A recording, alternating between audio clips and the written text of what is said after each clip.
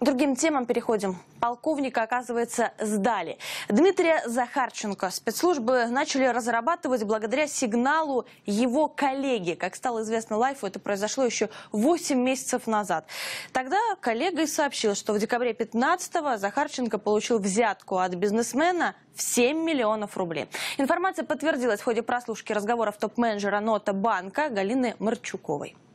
На счетах семьи полковника МВД Дмитрия Захарченко в швейцарских банках обнаружили еще 300 миллионов евро. Это примерно 22 миллиарда рублей. Оперативники ФСБ обнаружили документы со счетами офшорных фирм. Они зарегистрированы на Виктора Захарченко, это отец полицейского. Пока таких счетов 6, в основном в Ротшильдбанке и местном отделении Дрезденбанка. На каждом от 45 до 47 миллионов евро.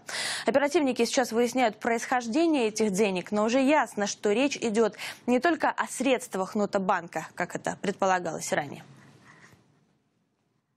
Ну, как правило, все люди с деньгами, они уже давно известны банкирам, потому что они их мониторят регулярно, они у них на радаре постоянно.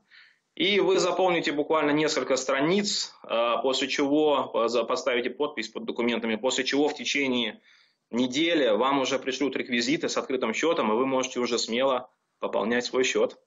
Опять же, у нас, по идее, а, подписан сейчас договор, он, правда, еще не вступил в силу, потому что еще нет достаточно технических средств его осуществить, по обмену информацией с точки зрения налоговых служб государств. Поэтому, по идее, в автоматическом режиме должны а, данные по этому счету в Россию передаваться. Но это начнется не ранее 2018 года, возможно, даже позже. Ранее были проведены обыски в кабинете и автомобиле Захарченко, а также в квартирах а, Захарченко и его родственников. У нас есть эксклюзивное видео. Самый большой сюрприз ожидал в апартаментах сестры. Там оперативники нашли 120 миллионов долларов и 2 миллиона евро, а еще рубли. Всего на сумму 9 миллиардов рублей. 10 сентября суд арестовал Захарченко на два месяца. Сам он всячески отрицает какую-либо причастность к этой ценной находке. Как сообщил уже официальный представитель Следственного комитета Владимир Маркин, сейчас все деньги переданы на хранение в Центробанк.